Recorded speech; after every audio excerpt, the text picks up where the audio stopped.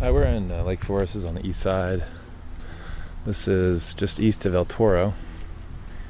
I think maybe over those hills is the Mission Viejo um, city limit, and then north of here is like uh, um,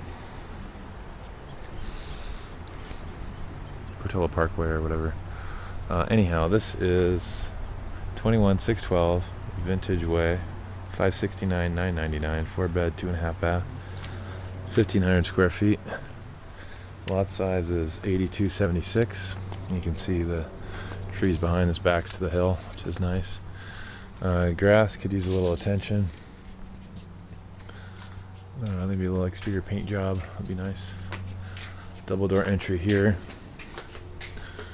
And then it looks like a wraparound yard. That's why you have that gate. Uh, that's why you have that gate right there. Uh, inside, big open area. Stairs heading up.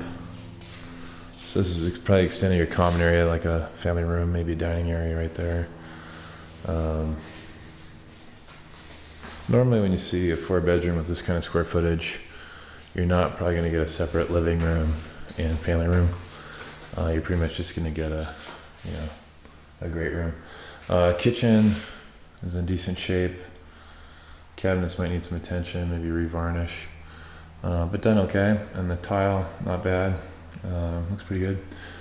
This way to the garage and to the little half bathroom here. Wainscoting, new windows are nice. Uh, this little walk-in closet pantry, sharp. This was a little something uh, converted room. Um, and you can see they made a little duct.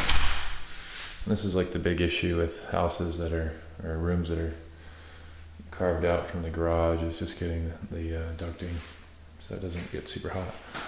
Uh, furnace is right here. Water heater, dog door.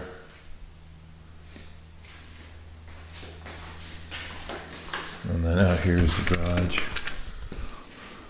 So the, the wall, this whole thing can come down pretty easily. That wouldn't be too much of an issue. Um, so.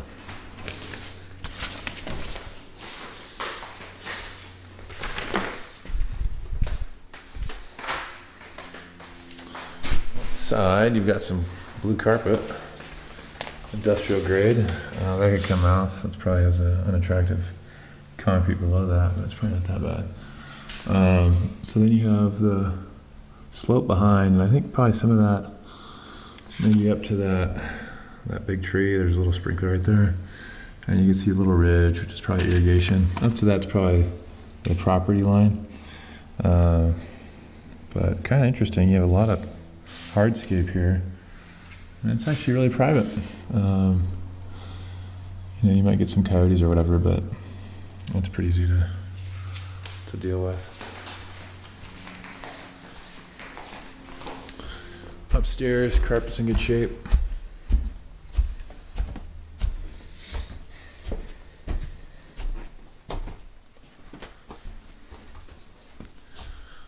That's interesting decor. Roses and kind of a pinky mauve. Uh, actually, I don't mind that at all. actually, did a good job. got crown molding and everything. Uh, get new windows. That's key. Uh, this is the master suite. Closets all along the wall here. Um, little stain over there. Corner windows which is sharp. Keep on your neighbor.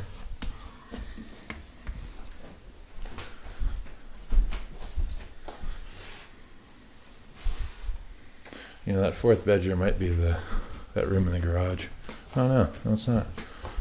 It's a full four. And then this is actually